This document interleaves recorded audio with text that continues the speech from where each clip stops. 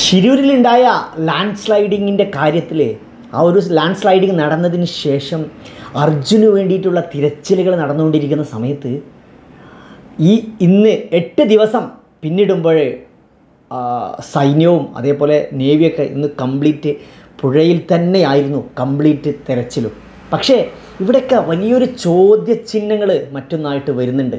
യഥാർത്ഥത്തിൽ അവിടെ ഉണ്ടായിരുന്നത് ഈ ഒരു പതിനാറാം തീയതി അപകടം നടക്കുന്ന സമയത്ത് എട്ട് മുപ്പതിനാണ് പതിനാറാം തീയതി അപകടം നടക്കുന്നത്. ആ സമയത്ത് അവിടെ ഉണ്ടായിരുന്നു എന്ന് പറയപ്പെടുന്നത് മൂന്ന് ടാങ്കറും ഒരു ട്രക്കും ആയിരുന്നു. അതായത് അർജുൻ ഉണ്ടായിരുന്ന ഭാരത് ബെൻസ്. ആ ട്രക്കുമായിരുന്നു അവിടെ ഉണ്ടായിരുന്നു എന്ന് പറയുന്നത്. പക്ഷേ ഇവിടെ നമ്മൾ ചോദ്യം ഒരു ചോദ്യം മുന്നിൽ വന്ന് നിൽക്കുന്നുണ്ട്.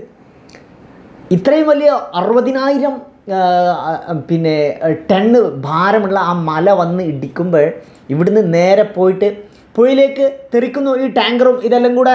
അതേസമയം പുഴയിൽ നിന്ന് വെള്ളം ഉയരുന്നുണ്ട്. ആ സമയത്ത് ആ തീരം മൊത്തം അതിനുശേഷം ഒരു വലിയ വാഷ് ഔട്ട് നടക്കുന്നുണ്ട്. ഈ വാഷ് ഔട്ട് നടക്കുന്ന സമയത്ത് കുറേ ആളുകൾ ആ വെള്ളത്തിൽ അങ്ങനെ പോകുന്നുണ്ട്. ഇങ്ങനെയൊക്കെ സംഭവിക്കുന്നുണ്ട്. പക്ഷേ ഇവിടെ ഒരു വലിയ ചോദ്യം വരുന്നത് ഈ ടാങ്കർ ഈ ടാങ്കർ ആ സമയത്ത് ഇത്തരം ഈ മൂന്ന് ടാങ്കറിലും അതേപോലെ പെട്രോളോ ഗ്യാസോ അത്തരത്തിലുള്ള സംഭവങ്ങൾ എന്തോ ദ്രാവകങ്ങളോ അല്ലെങ്കിൽ വാതകങ്ങളോ എന്തോ ഉണ്ട്. പക്ഷേ ഈ ഒരു സമയത്ത് ഇത്രയും വലിയ പ്രഹരം ഈ ടാങ്കറിന് അടിക്കുന്ന സമയത്ത് ഈ ടാങ്കർ ഒന്നിച്ച് പോകുന്നു. കാരണം അതിന്റെ ഒരു വേഗത എത്രമാത്രം എന്നൊന്നും നമുക്ക് കറക്റ്റായിട്ട് പറയാൻ പറ്റില്ല അത്രയും വലിയ വേഗതയിലാണ് ഇത് വരുന്നത്.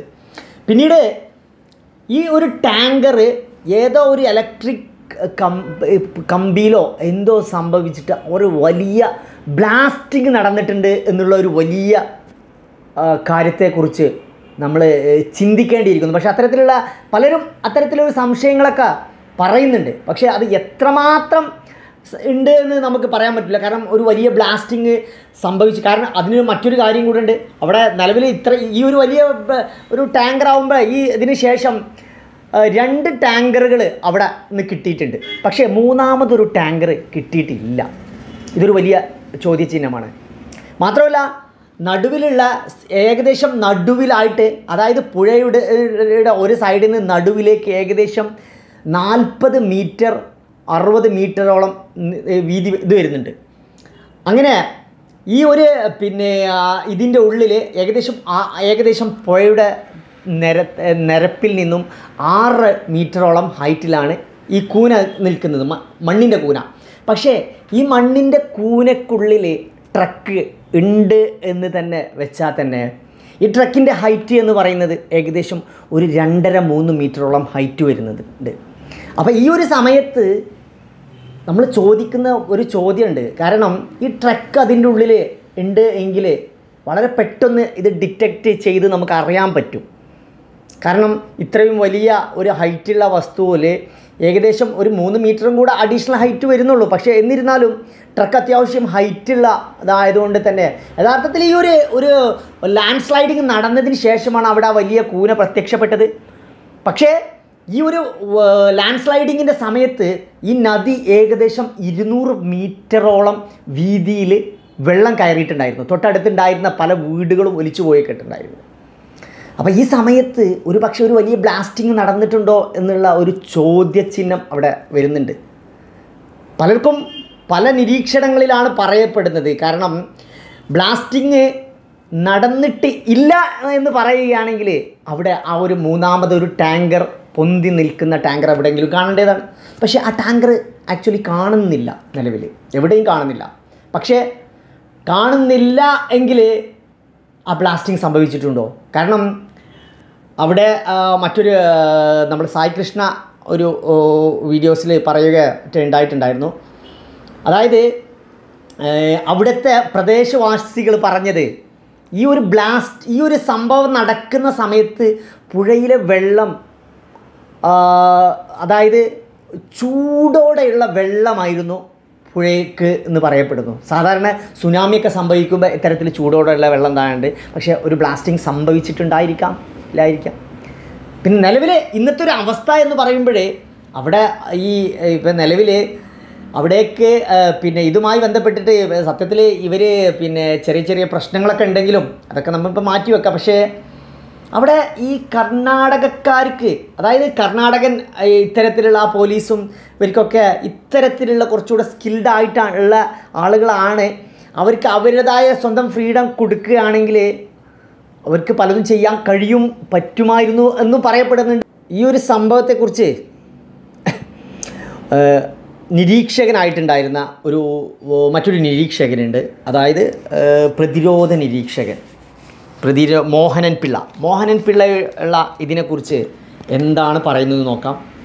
അപ്പോൾ ലോറി മണ്ണിനടിയിൽ ഉണ്ടാകാനുള്ള ഒരു സാധ്യതയാണ് താങ്കൾ ചൂണ്ടിക്കാട്ടിയത്. ഈ വാഹനം കൃത്യമായി ബന്ധിപ്പിച്ച ഈ വാഹനത്തിന്റെ ഭാരം എന്ന് പറയുന്നത് ആ വണ്ടിയുടെ മാത്രം ഭാരം എട്ട് ടൺ വരും. അതിൽ നാൽപ്പത് ടൺ വരെ ലോഡ് ഉണ്ടാകാം എന്നതാണ് നമ്മൾ അനുമാനിക്കുന്നത്. ഇരുപത്തിയഞ്ച് ടൺ എന്തായാലും ഉണ്ടാകും.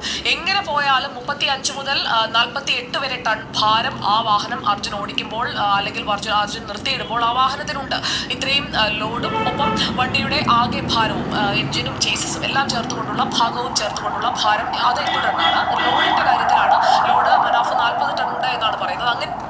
അതായത് മറ്റൊരു വിധത്തിൽ പറയുകയാണെങ്കിൽ അതിന്റെ ഉള്ളിൽ അവിടെ ലോറി ഉണ്ട് എന്നും ആ ലോറി ആ സമയത്ത് നാൽപ്പത് ടണ്ണായിരുന്നു എന്നും അതേപോലെ നാൽപ്പത്തഞ്ച് ടണ്ണായിരുന്നു എന്നും പറയപ്പെടുന്നുണ്ട്. പക്ഷേ എന്ത് തന്നെ ആയാലും അതിശക്തമായൊരു പ്രഹരം കൊണ്ട് ആ ലോറി ആ പുഴയുടെ നടുവിൽ തന്നെ ഉണ്ടോ ഇല്ലേ? അതിനെക്കുറിച്ച് മണ്ണിനടിയിൽ ഉണ്ടാകാനുള്ള ഒരു സാധ്യതയാണ് താങ്കൾ ചൂണ്ടിക്കാട്ടിയത്. ഈ വാഹനം കൃത്യമായി ബന്ധിപ്പിച്ച ഈ വാഹനത്തിന്റെ ഭാരം എന്ന് പറയുന്നത് ആ വണ്ടിയുടെ മാത്രം ഭാരം എട്ട് ടൺ വരും. അതിൽ നാൽപ്പത് ടൺ വരെ ലോഡ് ഉണ്ടാകാം എന്നതാണ് നമ്മൾ അനുമാനിക്കുന്നത്. ഇരുപത്തിയഞ്ച് ടൺ എന്തായാലും ഉണ്ടാകും. എങ്ങനെ പോയാലും മുപ്പത്തി അഞ്ച് മുതൽ നാൽപ്പത്തി എട്ട് വരെ ടൺ ഭാരം ആ വാഹനം അർജുൻ ഓടിക്കുമ്പോൾ അല്ലെങ്കിൽ അർജുൻ അർജുൻ നിർത്തിയിടുമ്പോൾ ആ വാഹനത്തിനുണ്ട്. ഇത്രയും ലോഡും ഒപ്പം വണ്ടിയുടെ ആകെ ഭാരവും എഞ്ചിനും ചേസിസും എല്ലാം ചേർത്തുകൊണ്ടുള്ള ഭാഗവും ചേർത്തുകൊണ്ടുള്ള ഭാരം അത് എട്ട് ടണ്ണാണ് ലോഡിന്റെ കാര്യത്തിലാണ്. ലോഡ് മനാഫ് നാൽപ്പത് ടൺ ഉണ്ട് എന്നാണ് പറയുന്നത്. അങ്ങനെയാണെങ്കിൽ നാൽപ്പത്തി എട്ട് നാൽപ്പതില്ല ഇരുപത്തിയഞ്ചാണെങ്കിൽ മുപ്പത്തി മൂന്ന് എങ്ങനെ പോയാലും ഇതാണ് ആ വണ്ടിയിൽ ഉണ്ടാകേണ്ട ലോഡിന്റെയും വാഹനത്തിന്റെയും ചേർന്നുള്ള ഭാരം. അങ്ങനെയാണെങ്കിൽ അത് മണ്ണിനടിയിലേക്ക് ആദ്യത്തെ മണ്ണിടിച്ചിലിൽ തന്നെ മണ്ണിനൊപ്പം വീണ് ഒപ്പം ഇതിന് പുറത്തേക്ക് പതിക്കുന്ന മണ്ണെന്ന് പറയുന്നത് ആയിരക്കണക്കിന് ടണ്ണാണ്. അത്രയധികം ഖനം ഇത്രയും ഫോഴ്സിൽ തുടർച്ചയായി വരുമ്പോൾ ഈ പുഴയുമായിട്ടുള്ള ഒരു കമ്മ്യൂണിക്കേഷൻ പോയിന്റ് ആണല്ലോ ഈ പുഴയുടെ തിട്ട എന്ന് പറയുന്നത്. അപ്പോൾ മണ്ണും പുഴയും തമ്മിലുള്ള ഒരു കമ്മ്യൂണിക്കേഷൻ പോയിന്റിൽ കൃത്യമായി ഈ വാഹനം തങ്ങി നിൽക്കാനുള്ള ഒരു സാധ്യത എത്രയാണ്? സുജിയ അതിന് അവിടെ യു കാൻ ജസ്റ്റ് എൻക്വയർ അവിടെ ഒന്ന് അന്വേഷിക്കുക. പുഴയുടെ ഒറിജിനൽ നേരത്തെ ഉണ്ടായിരുന്ന ഒരു എഡ്ജ് തിട്ടയും ഈ ഇൻസിഡന്റിന് ശേഷമുള്ള തിട്ടയും തമ്മിൽ എത്ര വേരിയേഷൻസ് ഉണ്ട്? ഒരു ഒരു അതായത് പുഴയുടെ ആ സപ്പോസ് നമ്മൾ ആ സൈഡിൽ വീണ് കഴിഞ്ഞാൽ അതിന്റെ മേളിൽ ഈ പറഞ്ഞ മാതിരി ഡിപ്പോസിറ്റും കൂടി വന്നു കഴിഞ്ഞാൽ അങ്ങനെയുള്ള രീതിയിൽ ആ ഡിപ്പോസിറ്റ് രൂപപ്പെട്ടിട്ടുണ്ടോ? തിട്ട് അതനുസരിച്ചിട്ട് ഡൈവേർഷൻ ഉണ്ടായിട്ടുണ്ടോ എന്ന് you can just enquire from there from അവിടെയുള്ള ലോക്കൽസ് ഐ മീൻ ലോക്കൽസ് അല്ല അവിടെയുള്ള നമ്മുടെ ആൾക്കാരുണ്ടല്ലോ. അവരോട് ചോദിച്ചു കഴിഞ്ഞാൽ അല്ലെങ്കിൽ പിക്ചർ ഒന്നുകൂടി സൂം ചെയ്ത് നോക്കിയാൽ അറിയാൻ പറ്റും. അപ്പോൾ തീർച്ചയായിട്ടും ആ ഒരു രീതിയിലായിരിക്കണം നമുക്ക് തോന്നുന്നു നമുക്ക് ഇപ്പോൾ ഡോക്ടർ. മോഹനൻ പിള്ള പറഞ്ഞ ആ ഒരു സാധ്യത കൂടി പരിശോധിക്കാം. പിന്നെ വൺ ഫോർട്ടി ഫോർ അവിടെ പാസ്സാക്കിയത് കൊണ്ട് തന്നെ പലപ്പോഴും അവിടെയുള്ള നാട്ടുകാർക്ക് പല ഇൻഫർമേഷൻസും പലത് കാര്യങ്ങളും ഈ ഇവിടെയുള്ള അവരേറ്റവും കമ്മ്യൂണിക്കേറ്റ് ചെയ്യാനും ഇതിനൊക്കെ വലിയതായ ബുദ്ധിമുട്ടുകൾ ഉണ്ട് നിലവിൽ അത് മറ്റൊരു വിഷയം. പിന്നെ മാത്രമല്ല കർണാടക ഗവൺമെന്റിന് ഇതിൽ എക്സ്പേർട്ടാണ് എന്ന് ആണ് പുതിയതായിട്ടുള്ള പലരുടെയും നിരീക്ഷണങ്ങൾ പറയുന്നുണ്ട്. അത്തരത്തിലൊരു നിരീക്ഷണം കൂടെ ഞാൻ ഇവിടെ ഒരു ആളെ നിരീക്ഷണം ഒരാൾ മറ്റൊരാളെ നിരീക്ഷണത്തിന്റെതായിട്ട് ഇത് നമ്മോട് പറയുന്നുണ്ട്. അതും ഞാൻ ഇവിടെ കേൾപ്പിക്കുന്നുണ്ട്. ഈ വീഡിയോ ഇതിന് ശേഷം. ഇപ്പോൾ ഡോക്ടർ മോഹനിൽ പിള്ള പറഞ്ഞ ആ ഒരു സാധ്യത കൂടി പരിശോധിക്കാം. നമ്മളിപ്പോൾ കാണുന്നത് അർജുന്റെ ലോഡാണ് അർജുന്റെ വാഹനമാണ്. ആ വാഹനം എവിടെയാണെന്ന് അറിയാനുള്ള തെരച്ചിലാണ് നമ്മൾ ഈ എട്ടാം ദിവസവും നടത്തിക്കൊണ്ടിരിക്കുന്നത്. ആ വാഹനം പുഴയിലേക്ക് വീണ് പുഴയുടെ നടുവിലേക്ക് പോകാതെ പുഴയുടെ സൈഡിൽ അതായത് റിവർ ബാങ്കിൽ തന്നെ പുഴ പുഴയുടെ തീരത്ത് തന്നെ അടിയാനുള്ള ഒരു സാധ്യതയെക്കുറിച്ചാണ് ഡോക്ടർ മോഹനൻ പിള്ള ഇപ്പോൾ ചൂണ്ടിക്കാട്ടിക്കൊണ്ടിരിക്കുന്നത്. സൈന്യവും അവിടെ തന്നെയാണ് പരിശോധന നടത്തുന്നത്. ഇങ്ങനെയുള്ള ദൗത്യങ്ങളെക്കുറിച്ച് അറിയാവുന്ന പ്രതിരോധ വിദഗ്ധനാണ് ഡോക്ടർ മോഹനൻ പിള്ള. അദ്ദേഹം പറയുന്നതനുസരിച്ച് നമുക്ക് ആ ദൃശ്യങ്ങൾ നേരത്തെ നേരത്തെ നമ്മുടെ ആകാശ ദൃശ്യങ്ങളിൽ വന്നതാണ്. എവിടെയാണ് ആ പരിശോധന നടക്കുന്നത് എന്നുള്ളത്. അതിന്റെ ഒരു വിദൂര കാഴ്ച കൂടി നമുക്ക് അദ്ദേഹത്തെ കാട്ടിക്കൊടുക്കുകയാണെങ്കിൽ അദ്ദേഹത്തിന് കുറച്ചുകൂടി നന്നായി ഇക്കാര്യത്തിൽ ഒരു കമന്റ് നടത്താൻ കഴിയും. അതായത് ആ വാഹനം വീഴാൻ സാധ്യതയുള്ള ഒന്നാമത്തെ മേഖല അതായത് മലഞ്ചെരുവിൽ പാർക്ക് ചെയ്തിടത്ത് ലോറി ഇല്ലെങ്കിൽ അത് അവിടെ നിന്ന് തെന്നി നീങ്ങി പുഴയിലേക്ക് പുഴയും കരയും തമ്മിലുള്ള ചേരുന്ന ഇടം. അവിടെയാണ് ലക്ഷ്മണന്റെ ചായക്കട ഉണ്ടായിരുന്നത് മറ്റൊരു വീടുണ്ടായിരുന്നത്. അത് രണ്ടും ഇന്നില്ല. ഡോക്ടർ മോഹനൻ പിള്ള അങ്ങേക്ക് ഇപ്പോൾ ദൃശ്യങ്ങൾ കാണാമെന്ന് ഞാൻ കരുതുന്നു. മണ്ണിടിച്ചിലുണ്ടായ ഭാഗത്തെ ദൃശ്യങ്ങളാണ് നമുക്ക് വേണ്ടത്. മണ്ണിടിച്ചിലുണ്ടായ മേഖലയിൽ പുഴയുടെ മറുകരയിലേക്ക് നദി പാഞ്ഞു കയറിയ പാഞ്ഞു കയറിയ മേഖല ആ പാഞ്ഞു കയറിയ മേഖലയിൽ ഉണ്ടായിരുന്ന വീടുകളാണ് ഒലിച്ചു പോയത് നോക്കൂ ആ വീട് ങ്ങളുടെ തറയടക്കം പലയിടങ്ങളിലും പോയിരിക്കുകയാണ്. ഭിത്തികളെല്ലാം നഷ്ടപ്പെട്ട അടിത്തറ മാത്രമായി അവശേഷിച്ച വീടുകളാണ്. ഇപ്പോൾ നദിയുടെ മറുകരയിലെ ദൃശ്യങ്ങൾ ഡോക്ടർ മോഹനൻപിള്ള അങ്ങേക്ക് കാണാമല്ലോ. അതായത് ഇത്രയും മണ്ണ് ടൺ കണക്കിന് മണ്ണ് പുഴയിലേക്ക് പതിച്ചു കഴിഞ്ഞപ്പോഴാണ് മറുകരയിൽ ഉണ്ടായിരുന്ന വീടുകളടക്കം ഒരു മരം പറിച്ചെടുക്കുന്ന ലാഘവത്തോടെ അത്രയും വീടുകൾ നദി ആ ഒരു ഒറ്റ കയറ്റത്തിൽ ഒലിപ്പിച്ചു കൊണ്ടുപോവുകയാണ്. അവിടെയാണ് സണ്ണി ഗൗഡ എന്ന സ്ത്രീ ഇത്രയും വലിയ ശക്തമായ ഒരു പ്രഹരം അവിടുന്ന് വന്നു കഴിഞ്ഞ കഴിഞ്ഞ അതുകൊണ്ടാണ് ആ പുഴ ഇത്രയ്ക്ക് ഇതായിട്ട് ഉയർന്നു വന്നത്. ആ ഒരു കുറച്ച് സമയത്തേക്ക് ആ പുഴ ഉയർന്നു വരികയും പിന്നീട് അത് പാരലി താഴുകയാണ് ചെയ്തിട്ടുണ്ടായിരുന്നത്.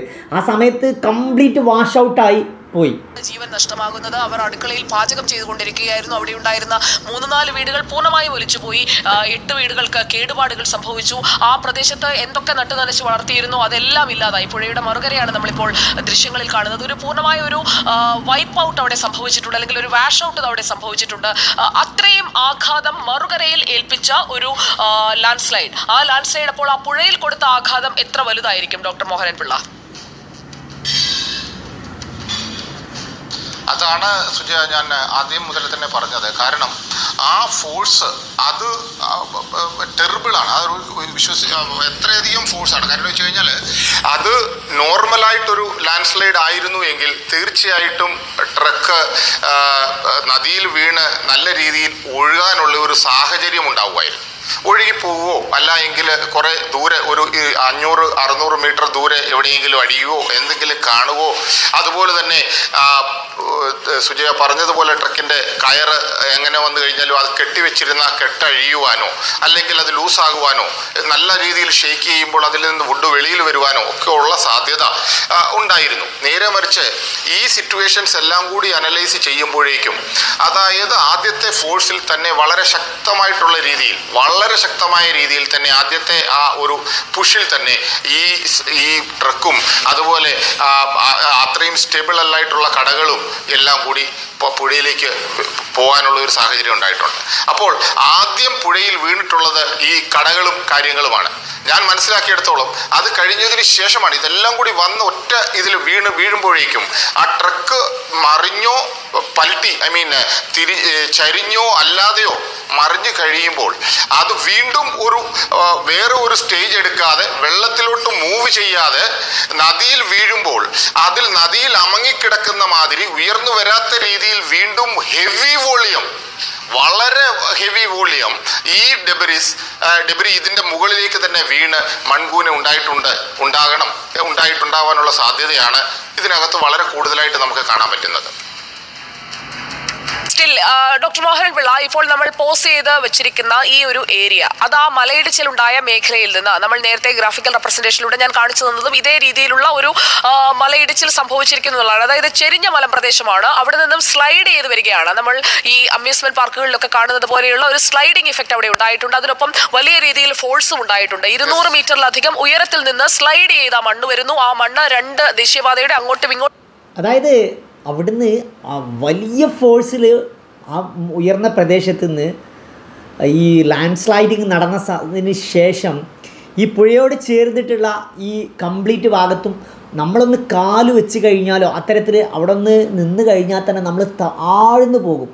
അതുകൊണ്ട് തന്നെ ആ, മണ്ണ് മുഴുവനും അവിടുന്ന് ഇങ്ങോട്ട് വന്നു എന്നുള്ളതിനും കൂടെ ഒരു തെളിവാണ്. കാരണം മുൻപേ ഉള്ള മണ്ണല്ല അവിടെ ഉള്ളത് കാരണം ആ ഒരു ലാൻഡ് സ്ലൈഡിങ് നടന്ന സമയത്ത് സംഭവിച്ച ഒരു കാര്യം തന്നെയാണ് ഇതൊക്കെ. കാരണം അത്രയും ഫോഴ്സിലാണ് ഇത് വന്നിട്ടുള്ളത്.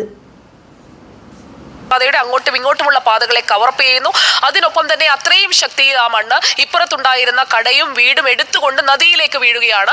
ആ നദിയിലേക്ക് വീണ് നദിയുടെ നടുവിൽ വരെ ആ മണ്ണ് എത്തിയിട്ടുണ്ട്. അവിടെ ഒരു കൂമ്പാരം ഇപ്പോഴും രൂപപ്പെട്ടിട്ടുണ്ട്. ഒരു ഹീപ്പായി തന്നെ നമുക്കത് കാണാം. നദിയുടെ അടിത്തട്ടിലും സ്വാഭാവികമായും അത്രയും ആറ് മീറ്ററോളം ആ മണ്ണ് അവിടെ അടിഞ്ഞിട്ടുണ്ട് എന്ന് നമുക്ക് ന്യായമായും സംശയിക്കാം. നോക്കൂ അവിടെ കാണുന്ന ആ നദിയുടെ തിട്ട അല്ലെങ്കിൽ ആ റിവർ ബാങ്ക് എന്ന് പറയുന്നത് മറ്റു ഭാഗങ്ങളിലേതുപോലെയല്ല. നമ്മൾ സ്ക്രീനിന്റെ ഇടതുഭാഗത്ത് കാണുന്ന അതേ ലെവലിലായിരിക്കില്ലേ നദിയുടെ തിട്ട പോകാനുള്ള സാധ്യത കയറിയും ഇറങ്ങിയുമുള്ള ഒരു ഫോർമേഷനാണ് നമുക്ക് അവിടെ കാണാൻ കഴിയുന്നത്. അപ്പോൾ ആ ലാൻഡ് സ്ലൈഡ് ഉണ്ടായ ഏരിയയിൽ നിന്നും നേരെ സ്ലൈഡ് ചെയ്തു വന്ന ഈ ട്രക്ക് അതിനടിയിലുണ്ടെങ്കിൽ അതും ചേർത്തുകൊണ്ടുള്ള ആ സ്ലൈഡിങ്ങിൽ ആ കരയോട് ചേർന്നുകൊണ്ടുള്ള നദിയും ഒപ്പം തന്നെ കരയും ചേരുന്ന ഭാഗത്തെ മണ്ണിന്റെ നിക്ഷേപം. അവിടെയാണ് ഇപ്പോൾ മെറ്റൽ ഡിറ്റക്ടർ കൊണ്ടുള്ള പൊസിഷനിങ് അവർ നടത്തിക്കൊണ്ടിരിക്കുന്നത്.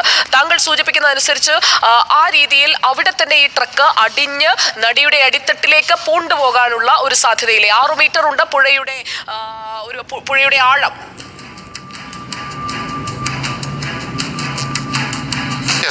അത് അവിടെ അവിടേക്കാണ് നമ്മൾ മെയിനായിട്ട് ഫോക്കസ് ചെയ്യുന്നത്. കാരണം ഇപ്പം അതിനകത്ത് കാൽക്കുലേറ്റ് ചെയ്യണം. ഞാൻ വീണ്ടും പറയുന്നു റിവറിന്റെ ഡെപ്ത് എത്രയുണ്ട് എന്ന് നമ്മൾ കാൽക്കുലേറ്റ് അറിയാവുന്നത്. അതാണ് ഞാൻ ആദ്യം മുതൽ തന്നെ പറയുന്നത്. അവിടെയുള്ള ലോക്കൽസിനോട് മാത്രം ചോദിച്ചെങ്കിലേ കൃത്യമായിട്ട് നേരത്തെ എത്ര വരെ ഇതിന്റെ ആഴമുണ്ട് എന്ന് മനസ്സിലാക്കിയതിന് ശേഷം.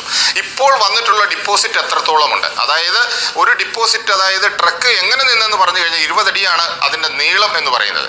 എന്ത് തന്നെയാണെങ്കിലും അത് നേരെ വെർട്ടിക്കൽ ആയിട്ടുള്ള ഒരു ഒരു ഒരു പൊസിഷനിൽ വരാനുള്ള സാധ്യത കുറവാണ്.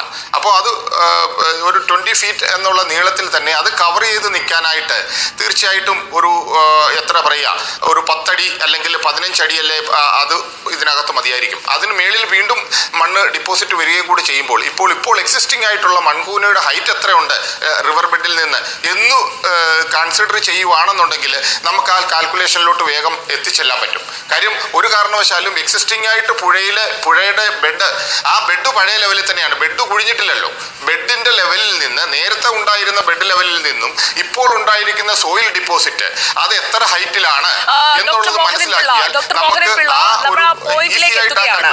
ഡോക്ടർ മോഹൻ പിള്ള നമ്മൾ ആ പോയിന്റിലേക്ക് എത്തുകയാണ്. നമുക്ക് ഈ ഗ്രാഫിക്കൽ റെപ്രസെന്റേഷനിലേക്ക് മടങ്ങി വരാം. താങ്കൾ ചോദിച്ച നേരത്തെയുള്ള ആഴവും അതുപോലെ തന്നെ റിവർ ബാങ്കിന്റെ സൈഡ് നമ്മുടെ ഡാറ്റ ടീം ഇപ്പോൾ പരിശോധിച്ചുകൊണ്ടിരിക്കുകയാണ്. നമുക്ക് ഈ ഗ്രാഫിക്കൽ റെപ്രസെന്റേഷനിലേക്ക് തന്നെ തിരികെ എത്താം. പി സി ആർ പ്ലീസ് അപ്പോൾ ഇവിടെ അങ്ങ് സൂചിപ്പിച്ചതനുസരിച്ച് നമ്മൾ ഈ ഭാഗം ഒന്നുകൂടി ശ്രദ്ധിച്ചു നോക്കുകയാണെങ്കിൽ ഈ പുഴയുടെ ആഴവും ഒപ്പം മണ്ണ് ഡെപ്പോസിറ്റ് ചെയ്തിരിക്കുന്നതിന്റെ കൃത്യമായ ഘനവും എത്ര ഘനത്തിൽ മണ്ണ് അടിഞ്ഞിട്ടുണ്ട് എന്നതും കൂടി നമ്മൾ നോക്കുകയാണെങ്കിൽ ഇവിടെ ഇപ്പോൾ ഈ മണ്ണ് കൂമ്പാരമായി നിൽക്കുന്ന ഭാഗം ഈ ഒരു പോയിന്റ് ആണ്. ഈ നദിയുടെ മധ്യഭാഗത്ത് അതായത് ലാൻഡ് സ്ലൈഡ് ഉണ്ടായ ഏരിയയിൽ നിന്നും ഏകദേശം ഏകദേശം ഒരു അമ്പത് ഫീറ്റോളം മണ്ണ് നേരത്തെ കർണാടക സർക്കാർ ഡംപ് ചെയ്തിട്ടുണ്ടായിരുന്നു.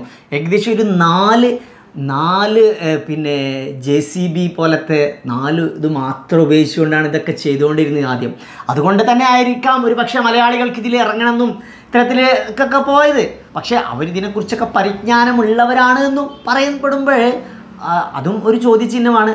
പക്ഷേ ഇത് ഈ ഇപ്പം നിലവിൽ ഈ മണ്ണ് ഈ ഒരു അമ്പത് അടിയോളം ഹൈറ്റിലുള്ള മണ്ണ് എടുത്തുകൊണ്ടിരിക്കുകയാണ് തിരിച്ച്. കാരണം അമ്പതടി ഹൈറ്റ് എന്നൊക്കെ പറയുമ്പോൾ നമ്മൾ അതിനെ കാൽക്കുലേറ്റ് ചെയ്യുകയാണെങ്കിൽ ഒരു പത്തടി ഹൈറ്റ് ഒരു ബിൽഡിങ്ങിന്റെ ഏകദേശം ഹൈറ്റ് വരുമ്പോൾ ഒരു അഞ്ചടി ബിൽഡിങ്ങിന്റെ അഞ്ച് ആറോളം ബിൽഡിങ്ങിന്റെ ഹൈറ്റിൽ മണ്ണ് കൂട്ടിയിട്ടിട്ടുണ്ട്. ഇനി ആ മണ്ണൊക്കെ ഘട്ടം ഘട്ടമായിട്ട് അത് അവിടുന്ന് മൂവ് ചെയ്യണം. ഒരു പക്ഷേ ഇതിനുള്ളിലാണെങ്കിലോ ഒരു പക്ഷേ അർജുന് അതും നമുക്ക് പറയപ്പെടാൻ പറ്റില്ല പക്ഷേ പലയിടങ്ങളിലും ഇതുപോലെ റഡാർ ഡിറ്റക്റ്റ് ചെയ്യുന്നുണ്ട് പറയുന്നുണ്ട്. കാരണം പലപ്പോഴും ഇരുമ്പിന്റെ അംശമുള്ള സ്ഥലങ്ങളിലൊക്കെ അത് ഡിറ്റക്ഷൻ ചെയ്യാനുള്ള ഒരു സാധ്യത കൂടുതലാണ്. അപ്പോൾ അത് നമുക്ക് ചെയ്യാൻ കഴിയില്ല. ഏതായാലും ഈ ഒരു അർജുന്റെ കാര്യത്തിനൊരു തീരുമാനമാവട്ടെ എന്ന് മാത്രമാണ് എല്ലാവരും കാരണം ഓരോ ദിവസവും തോറും ആ ഒരു മനുഷ്യന്റെ ജീവന്റെ ജീവിതത്തിലേക്ക് തിരിച്ചു വരിക. കാരണം പ്രതീക്ഷകളെല്ലാം നഷ്ടപ്പെട്ടു പോയി. ഇന്നലെ അമ്മ തന്നെ പറയുകയുണ്ടായി പ്രതീക്ഷകളെല്ലാം നഷ്ടപ്പെട്ടു പോയി. ഒരു പ്രതീക്ഷ നഷ്ടപ്പെട്ട ഒരു അമ്മയുടെ അവസ്ഥ നമ്മൾ ആലോചിച്ച് നോക്കും. ഏതായാലും ഏതായാലും ഇതിന് ഒരു ഇതാവാത്ത ഒരു ഒരു തീരുമാനത്തിൽ എത്തിപ്പെടട്ടെ. അല്ലെങ്കിൽ നമുക്ക് എന്നും ഒരു തീരാ ദുഃഖമായി മാറരുത്. കാരണം ഇതൊരു മിസ്റ്ററി കാരണം ജീവിച്ചിരിക്കുന്ന ഒരു മനുഷ്യനെ അത് ജീവിച്ചോ അല്ലെങ്കിൽ ജീവിച്ചിരിപ്പുണ്ടോ മരിച്ചിരിക്കണോ ഇതൊക്കെ അങ്ങനെയൊക്കെ നിൽക്കുന്ന സമയത്ത് അതൊരു വലിയ വിഷമം ഉണ്ടാക്കുന്ന കാര്യം തന്നെയാണ് ആ കുടുംബത്തിനെ സംബന്ധിച്ചിടത്തോളം ഒക്കെ. ഓക്കെ ഏതായാലും മറ്റൊരു വീഡിയോസുമായി വീണ്ടും വരാം. വീഡിയോയെക്കുറിച്ചുള്ള അഭിപ്രായങ്ങളൊക്കെ കമന്റ് ചെയ്യാൻ മറക്കരുത്.